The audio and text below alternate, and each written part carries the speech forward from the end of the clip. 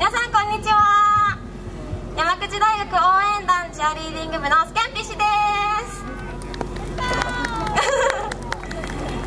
チアリーディングっていうのはその見ている皆さんを元気づけるスポーツなので、まあ、山口にな馴染みはないかもしれないですけど今日は一生懸命頑張ります。